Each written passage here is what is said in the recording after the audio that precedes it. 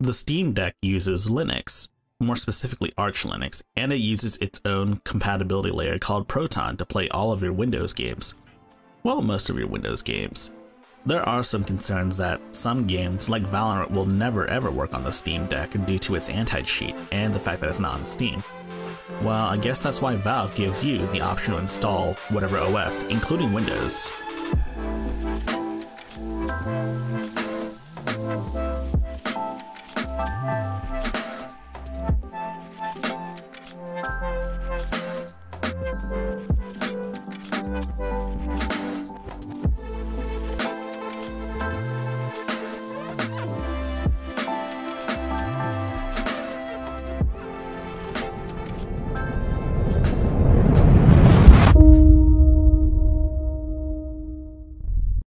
If you've ever liked my content, please like and subscribe and join the Discord.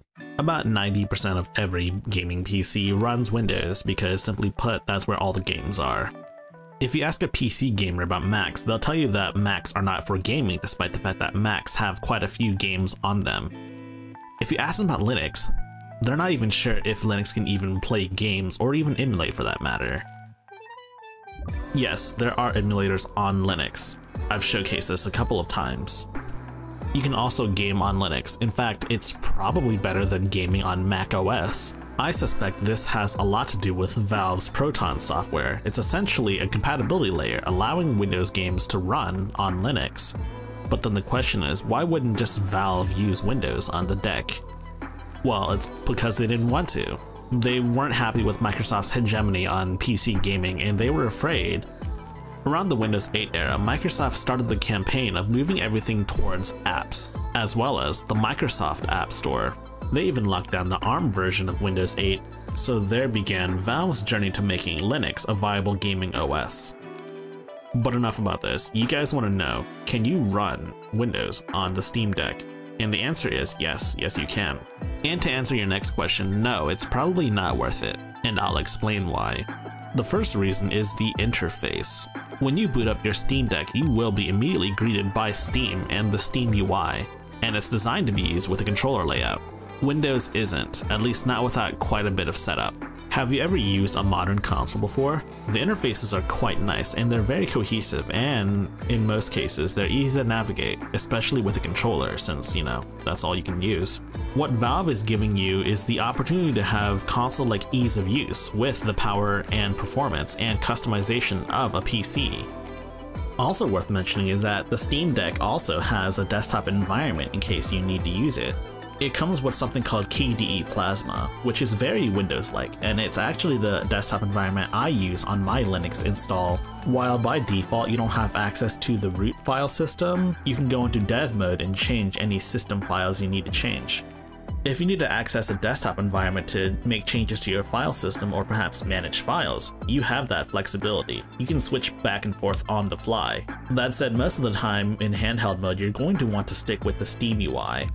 Also, yes, this device has a touchscreen, and Windows has touchscreen support, but honestly, the touchscreen experience on Windows is extremely subpar. I have a touchscreen laptop and I don't even use it myself. All in all, Windows isn't really designed for these types of devices.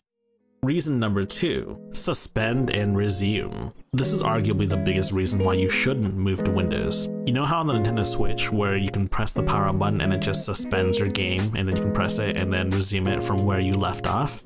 Yeah, that functionality. Steam Deck has that. However, there's a more advanced implementation of this. More akin to how the Xbox Series X and Series S does quick resume. So if you're not in the know, basically the Series S and Series X have the ability to suspend games and resume them basically at any time. So let's say you're playing a single player game and you decide you want to play a different game instead. Instead of finding a save point or turning off the game entirely, whatever, you can just boot up the next game, play a little bit of that, and then resume exactly where you left off without even having to load the game again. That's extremely cool. And if it sounds magical, that's because it is. My brother actually owns an Xbox Series X, and so I had the chance to try it out, and it works exactly like that. And from what I've seen about the Steam Deck, it seems to work the same exact way too. And this will be a huge game changer. Reason number three it's just a pain in the butt to do. You know why most people use Windows?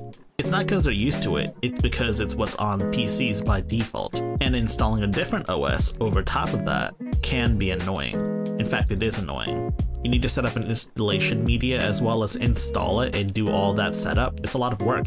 Now, I know nothing about the BIOSes, the boot options, the requirements to install Windows on a Steam Deck, but I do know about how to install OSs, and I can tell you that that process is really annoying. And at the end of the day, it's probably not worth it. While Windows starts at 15 gigabytes, with updates and security updates and whatnot, it'll up itself quite significantly. While Windows 10 starts at 15 gigabytes, after about a couple of updates, it'll go up to 32 gigabytes for the entire OS. If you're on a 65 gigabyte model, then you basically lose half of your storage. There have been some discussions about booting from SD cards as well as dual booting on your Steam Deck. In theory, this should be possible as Valve is allowing you full access to the BIOS and they even tout that you can install whatever OS you want. For the people that want to install Windows, you could always do that. I plan on installing Windows on an SD card so I can play my Game Pass games on the go, if I need to that is. The performance won't be as good as if you install it on an SSD, but I lived a good portion of my life booting Windows from a hard drive, so the speeds should be comparable to a hard drive. There's a million different reasons people will give you for not installing Windows on the Steam Deck. Some are valid, some are invalid, but those three are my biggest reasons as to why I won't be overriding SteamOS. You should also just give SteamOS a try before you attempt to wipe it.